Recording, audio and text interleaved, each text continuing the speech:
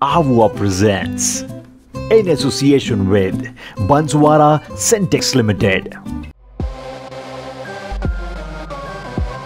Super buddies हमारे रक्षक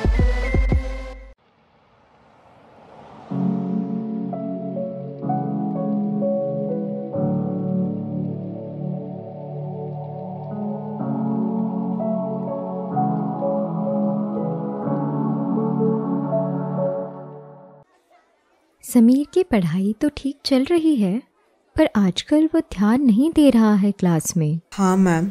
वो एक्चुअली कुछ दिन पहले वो आंटी ने उसे गलत वीडियो दिखाई थी। अब वो तो सज़ा काट रही है जेल पे पर इसका समीर पे बहुत बुरा असर पड़ा है। सिर्फ़ समीर ही नहीं राहुल सीमा और इशिता के साथ भी छेड़खानी हुई थी। क्या? हमारे स्कूल के इतने बच्चों के साथ शोषण हुआ है? और मुझे पता ही नहीं लगा। आप टीचर हैं।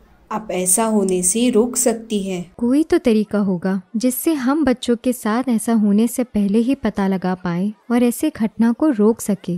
क्यों ना हम सुपर बडीज की हेल्प लें? बड़ी के भी बड़ी सुपर बडीज अच्छा। Super buddies. क्या हम ऐसे टीचर ये शोषण होने से रोक सकते हैं? हाँ एक रास्ता है। कोई भी बच्चा अनसेफ टच या किसी भी टाइप के नॉन टच अब्यूज से गुजरता है तो वो शुरुआती चेतावनी के संकेत दिखाता है।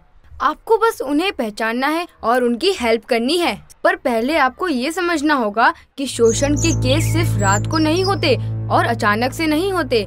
और सबसे बड़ी बात ये खाली जगहों पर अनजान लोग ही नहीं बल्कि फैमिली और रिलेटिव भी करते हैं। अब्यूजर बच्चों की ग्रूमिंग करता है और उनसे दोस्ती करता है। एक बच्चा जो अब्यूज से गुजर रहा हो वो पढ़ाई पे ध्यान नहीं दे पाता है। जिसकी वजह से उनके ग्रेड्स कम होने लग जाते हैं। वो फैमिली के अंदर ही अकेले रहने लग जाते हैं। इसके अलावा वो काफ़ी एग्रेसिव अकेले और दूर रहने लग जाते हैं। उन्हें सोने में प्रॉब्लम होती है और खाने में भी। डरे हुए रहते हैं, जैसे हमारी सीमा रहने लग गई थी। एक बच्चा, जिसके साथ शोषण हुआ है, वो किसी एक इंसान के साथ अकेला नहीं रहना चाहता है। उसे डर लगता है कि अकेले रहने से वो इंसान फिर से कुछ ना कर दे।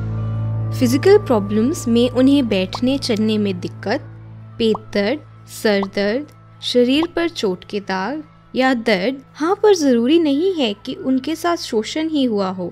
पर ज़रूरी है कि अगर आपको इनमें से कोई भी लक्षण दिखे तो आप बच्चों से ज़रूर बात करें। हो सकता है उन्हें कोई और परेशानी हो जो वो आपको बता नहीं पा रहे हों। हम इन बच्चों में ये शुरुआती संकेत देखकर उनकी हेल्प ज़रूर करेंगे। थैंक यू सुपर बडीज हमें शक्तिशाली बनाने के लिए।